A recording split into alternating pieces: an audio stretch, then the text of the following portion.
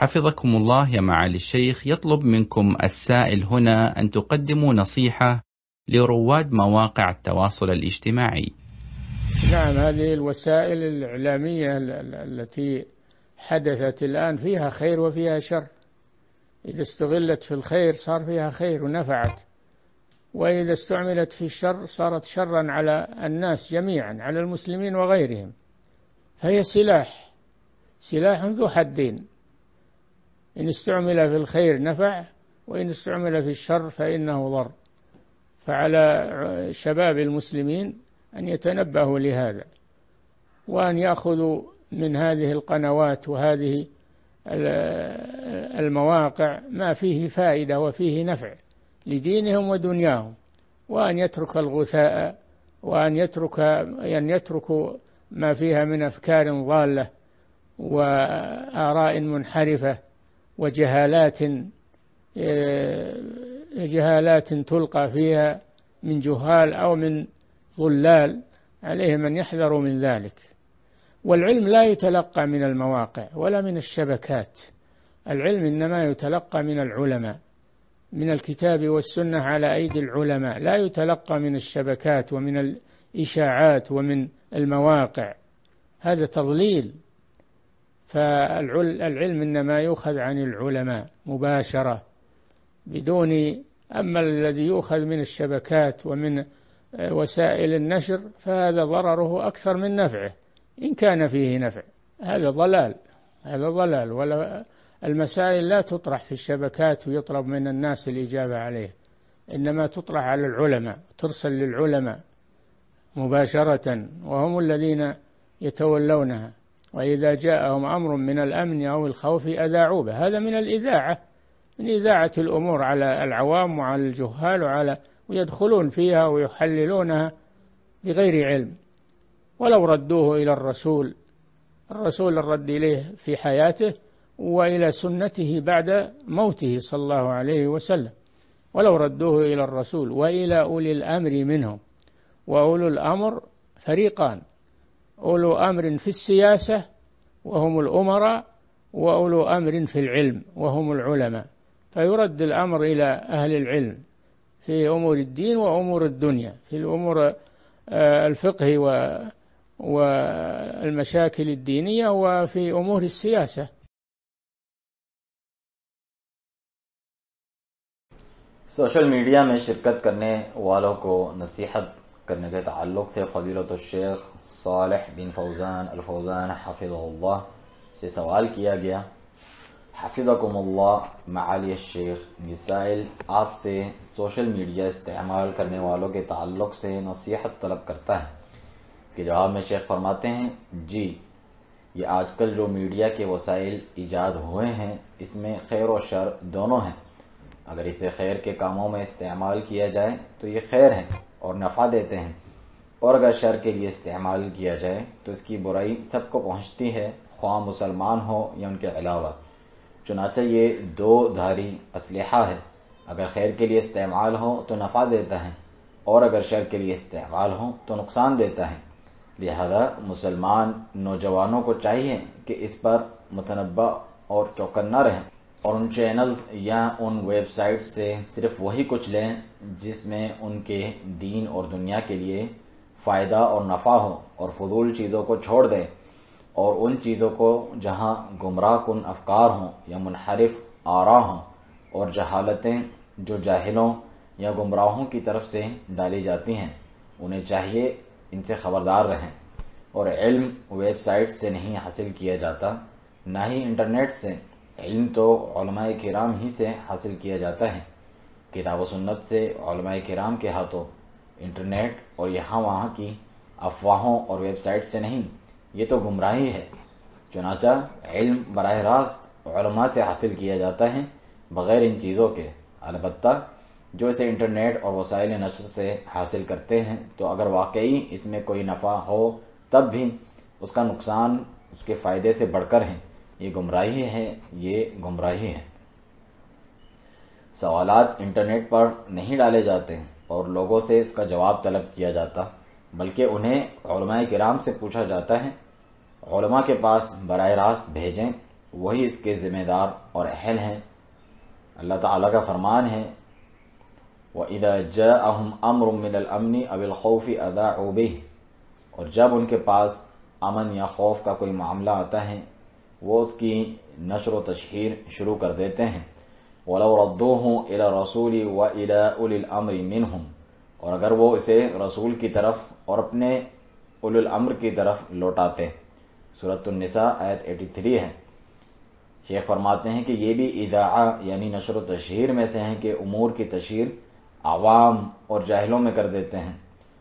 اور وہ اس میں داخل ہو کر بغیر علم کے اسے حل کرنا شروع کر دیتے ہیں۔ اگر وہ رسول کی طرف اسے پھیر دیں مطلب ان کی زندگی میں ان کی ذات کی طرف اور آپ کی وفات کے بعد آپ صلی اللہ علیہ وسلم کی سنت کی طرف۔ اس کے بعد فرمایا، اپنے اول الامر کی طرف پھیرتے ہیں۔ اور اول الامر دو قسم کے لوگ ہیں۔ سیاست میں اول الامر جو کہ عمرہ حکمران ہیں، اور علم میں اول الامر جو کہ علماء ہیں۔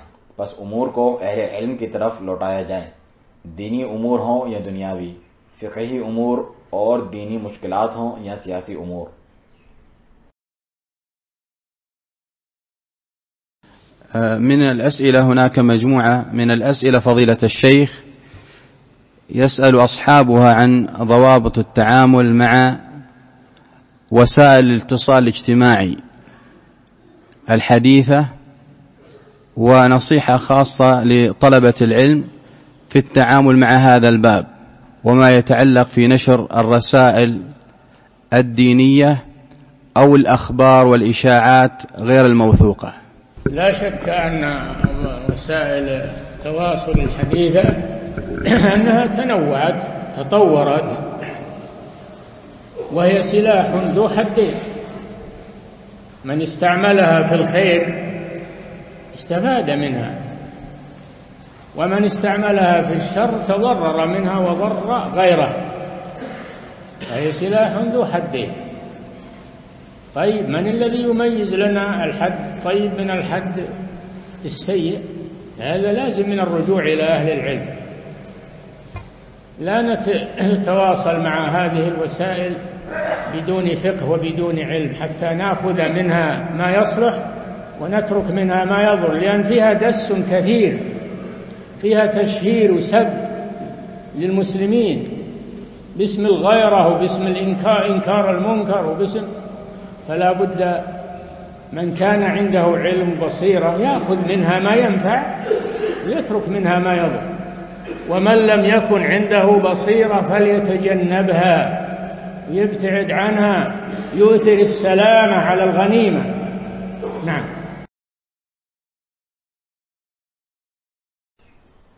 شیخ سے سوال ہوا فضیلت الشیخ کافی سوالات آئے ہیں جن میں پوچھا گیا ہے کہ جدید سوشل میڈیا کے ذرائع استعمال کرنے کے تعلق سے کیا ضوابط ہیں اور اس باب میں طلبہ علم کے لیے دینی پیغام کی نشر کرنے یا غیر تصدیق شدہ خبریں اور افواہیں پھیلانے کے تعلق سے خصوصی نصیحت بھی کیجیے اس کے جواب میں شیخ فرماتے ہیں، اس میں کوئی شک نہیں کہ سوشل میڈیا کے ذرائع میں ترقی ہو رہی ہے اور مختلف انواع اقسام ایجاد ہوتی جا رہی ہیں اور یہ دو دھاری اسلحہ ہے۔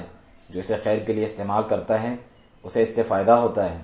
اور جو اسے شر کے لیے استعمال کرتا ہے، خود بھی نقصان اٹھاتا ہے اور دوسروں کو بھی نقصان پہنچاتا ہے۔ لہذا یہ دو دھاری اسلحہ ہے۔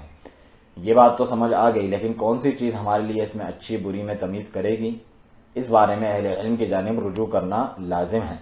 ان وسائل کو ہم بغیر فکر و علم کے نہ اپنائیں، تاکہ ہم اس میں سے وہ لیں جو صحیح ہو اور اسے چھوڑ دیں جو نقصان دہ ہو۔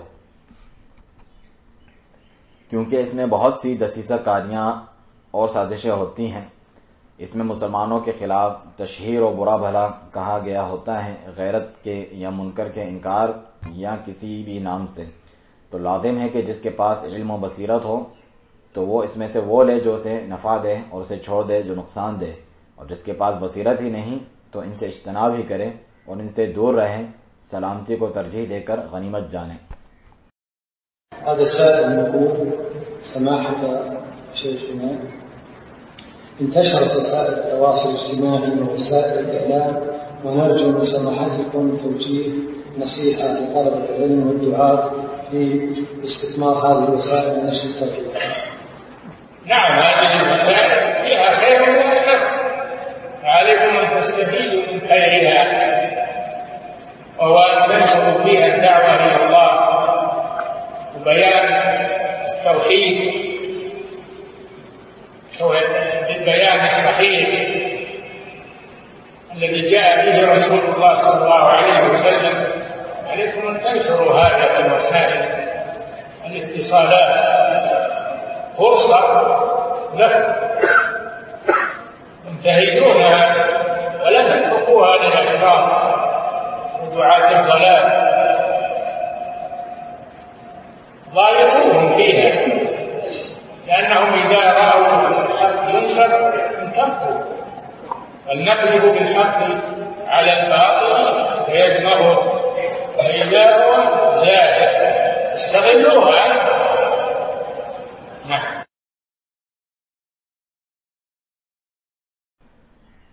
شیخ سے سوال ہوا کہ یہ سائل کہتا ہے، سماحت الشیخ، سوشل میڈیا اور دیگر ذرائع ابلاغ بہت پھیل چکے ہیں۔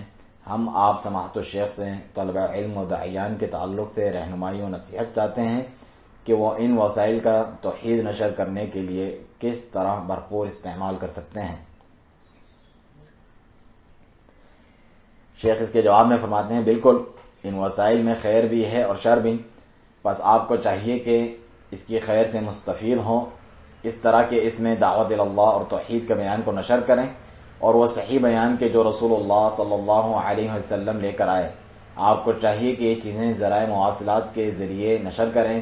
یہ آپ کے لیے ایک اچھا موقع ہے، اسے غنیمت جانیں اور اسے شریر لوگوں اور گمراہی کے دعیان کے لیے نہ چھوڑیں، بلکہ ان کا راستہ تنگ کریں اس میں، کیونکہ یقیناً جب وہ دیکھیں گے کہ حق نشر ہو رہا ہے تو دب جائیں گے۔ اللہ تعالیٰ کا فرمان ہے، بل نقذف بالحق کی علی الباطل فیدمغه فاذا هو زاهق سورۃ الانبیاء آیت 18 میں بلکہ ہم حق کو باطل پر پھینک مارتے ہیں تو وہ اس کا دماغ کچل دیتا ہے۔ بس اچانک وہ مٹنے والا ہو کر نابود ہو جاتا ہے۔ لہذا اس موقع کو غنیمت جانیں۔ أحسن الله إليكم فضيلة الشيخ هذا سائل يقول ما حكم نشر المنكرات بقصد التحذير منها عبر وسائل التواصل الاجتماعي لا يجوز هذا والعياذ بالله هذا لا يجوز. يقول الشيخ علي الطنطاوي رحمه الله يقول إن رجلا قام ينصح ويعظ يقول أعوذ بالله زانية في محل كذا وما أدري كيف فلما سمعها أهل الشر راحوا لمها فهو دلهم عليها. فلا يجوز إشاعة الفاحشة إلا من باب الإنكار عليها ولأجل إزالتها فقط. شیخ سے سوال ہوا، احسن اللہ علیکم فضیلت الشیخ، یہ سائل کہتا ہے، منکرات سے خبردار کرنے کی غرض سے انہیں سوشل میڈیا پر نشر کرنے کا کیا حکم ہے؟ یہ جواب میں شیخ فرماتے ہیں، جائز نہیں العاذ باللہ، یہ جائز نہیں۔ شیخ علی الطنطاوی رحم اللہ فرماتے ہیں کہ ایک شخص کھڑے ہو کر وعد و نصیحت کر رہا تھا، اس نے کہا فنا جگہ ایک زانیہ رہتی ہے، اعوذ باللہ، اور پتہ نہیں کیا کچھ۔ بس جب شر پسند لوگوں نے سنا تو اس کے پاس آنا جانا شروع کر دیا۔ گویا کہ اس نے انہیں اس جانب راہ دکھا دی۔ لہذا فحاشی کو نشر کرنا جائز نہیں اللہ یہ کہ منکر کا انکار اور اس کا ازالہ مقصود ہو فقط۔ ثم فتنة لا يبقى بيت من العرب إلا دخلته هذه المشكلة فتنة عامة تدخل البيوت تدخل البيوت والله أعلم الله أعلم أنه وسائل الإعلام الآن. وسائل الإعلام وهذه الوسائل الإنترنت وما أدري ويش تنقل هذه الشرور تدخلها على الناس ببيوتهم. أنت ما رحت لها لكن هي جت دخلت عليك. أنت على فراشك. عندك ها ها الصنم اللي جنبك حركه ويجيب لك كل كل شر وكل بلاء. هذه فتنة. نعم. نبی صلی اللہ علیہ وسلم کے یہ فرمان جو قرب قیامت کی نشانیاں ذکر کرتے ہوئے فرمایا کہ ثم فتنة لا يبقى بيت من العرب الا دخلت ہوں صحیح بخاری کی روایت کہ پھر ایسا فتنہ ہوگا جو عرب کے کسی گھر کو نہیں چھوڑے گا، مگر اس میں داخل ہو کر رہے گا۔ اس کی تشریح کرتے ہوئے شیخ صالح الفوزان حفظ اللہ فرماتے ہیں، یہ بہت بڑی مشکل ہے۔ یعنی عام فتنہ جو گھروں تک میں داخل ہو جائے گا، گھروں میں داخل ہو جائے گا، اللہ عالم اللہ بہتر جانتا ہے کہ یہ جو آج کل کے ذرائع ابلاغ میڈیا ہے، یہ ذرائع ابلاغ اور یہ انٹرنیٹ کے وسائل اور پتہ نہیں کیا کچھ، وہ ان برائیوں کو لا کر لوگوں کے گھروں کے اندر پیش کر دیتے ہیں۔ آپ اس کی طرف نہیں جاتے، مگر وہ اٹھ کر آپ کے پاس آ جاتے ہیں۔ آپ اپنے بستر پر ہوتے ہیں اور کوئی اعلیٰ ڈیوائس آپ کے پہلو میں ہوتا ہے۔ وہ دنیا جہاں کا شر اور بلا آپ کو لا دیتا ہے۔ یہی تو فتنہ ہے السؤال الآتي هو من الطالب علي جابر. يشكر سماحتكم ويقول كيف نعرف دعاة الضلال في هذا العصر الذي يموج بالفتن وخصوصا في مواقع التواصل الاجتماعي؟ أول شيء لا بد أن تعرفوا أين تعلموا ومن أين تلقوا العلم. هذا أول شيء. ثانيا تعرفون منهجهم الذي يسيرون عليه من يقتدون به من يقلدون في هذا؟ يقلدون أئمة الإسلام وعلماء الإسلام أو يقلدون غيرهم؟ فلا بد من تمييز هؤلاء من غيرهم بمعرفة أين تلقوا العلم من درسوا عليه من نشأوا عنده حتى يعرف أصلهم ومنهجهم سيرتهم نعم. شیخ، سے سوال ہوا کہ یہ سوال طالب علی جعفر کی طرف سے آیا ہے کہ آپ سماحت و شیخ کا شکریہ ادا کرتا ہے اور کہتا ہے کہ ہم کس طرح گمراہی کے دائیان کو اس زمانے میں پہچان سکتے ہیں؟ کہ جس میں فتنے موج در موج آ رہے ہیں، خصوصاً سوشل میڈیا پر۔ کہ جو آپ میں شیخ فرماتے ہیں، سب سے پہلی بات یہ ہے کہ ہم جانیں ہمیں کہاں سے پڑھنا چاہیے اور کہاں سے علم حاصل کرنا چاہیے۔ یہ سب سے پہلی بات ہے۔ دوسری بات یہ کہ ان کا منحج جانے کے جس پر وہ گامزن ہیں، کہ وہ کس کی پیروی کرتے ہیں، اس بارے میں کس کی تقلید کرتے ہیں۔ آئمہ اسلام اور علماء اسلام کی تقلید کرتے ہیں یا ان کے علاوہ کسی کی کرتے ہیں۔ لازم ہے کہ ہم امتیاز کریں ان میں اور دوسروں میں۔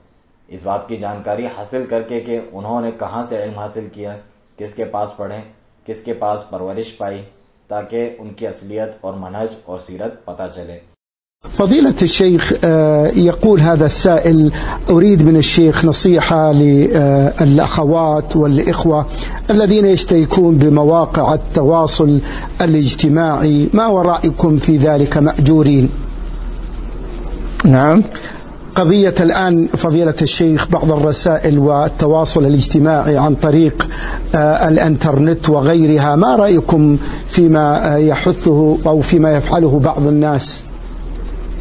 هذه حصل منها مفاسد وحصل فيها كما هو معلوم تدخلات من المضللين ومن دعاة الضلال ومن دعاة الفتن فيحذر من التواصل الاجتماعي ولا يستعمل الجوال إلا لحاجته المكالمة والرد عليها. أما جعل الجوال لأجل استقبال هذه الرسائل وهذه الترهات وهذه الشواغل فهذا لا ينبغي وقد يحصل منه مفاسد. نعم. سے سوال حافظ اللہ سے نصیحت چاہتے ہیں ان بہنوں اور بھائیوں کے لیے جو سوشل میڈیا ویب سائٹس میں شرکت کرتے اور حصہ لیتے ہیں، آپ کی اس بارے میں کیا رہے ہیں؟ اللہ تعالیٰ آپ کو اجر سے نوازے۔ شیخ اس کے جواب میں فرماتے ہیں کہ اس کے ذریعے تو مفاسد پیدا ہوتے ہیں اور اس کے ذریعے جیسا کہ معلوم ہے، گمراہ کرنے والے اور فتنہ باز دائیان کو مداخلت کرنے کا موقع فراہم ہوتا ہے۔ بس ان سوشل میڈیا سے بچنا چاہیے اور موبائل کو صرف بقدر حاجت ہی استعمال کرنا چاہیے، کسی کو کال کرنے یا ریسیو کرنے کے لیے۔ مگر موبائل کو اس قسم کے میسیجز وصول کرنے، فضولیات اور شغل کے لیے استعمال کرنا لائق نہیں، بلکہ اس کے ذریعے مفاسد تک پیدا ہوتے ہیں۔